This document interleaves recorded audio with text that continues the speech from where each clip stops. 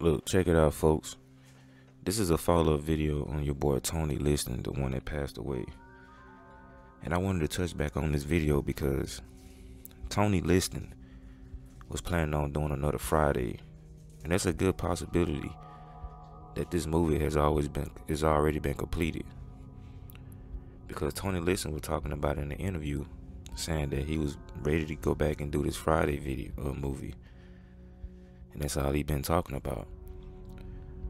But what's so puzzled about this situation and when he died, the first person that came out was none other than Ice Cube, the producer of the Friday movies.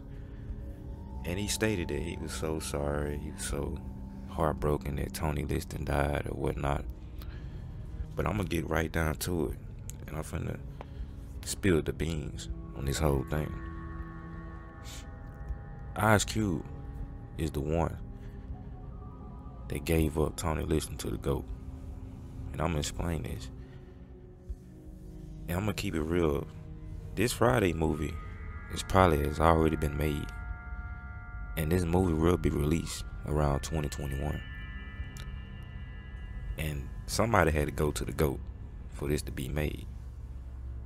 And so Ice Cube had to make the offering and give up the big bully of the whole movie to make it be a, a full success. See what I'm saying? And the reason he chose Tony Liston because he has a strong energy. Like he was the main character, him and Smokey. And see, one of them had to go. So I guess it was like, I'm going to go and get Tony. You know, I kind of like I like Chris Tucker, but I'm gonna go ahead and take Tony and offer him to Pop Billy Lucy. And that's what happened, man. And you hear a lot about Ice Cube up in the news with Donald Trump and all them, man. And he trying to do something for the so-called black community, which was a lie, all for him just to be in the news. That's why I knew something was up with Ice Cube, man, because he was talking about money. He wasn't talking about nothing else but money and benefiting himself in Hollywood.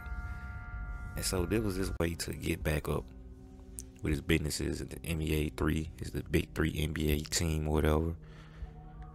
And he hadn't made an offer of one of his best co-stars on set, and that was Tiny Liston. And people think this is a joke, but you know, believe what you want to believe. I got the facts, and I always had the facts.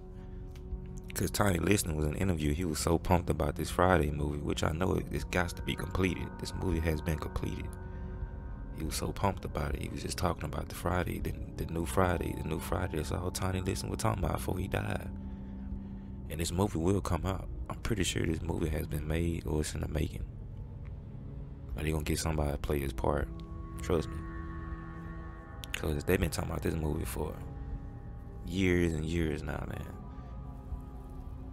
Tiny Liston was talking about this movie on his deathbed, man. What y'all think about Ice Cube, man?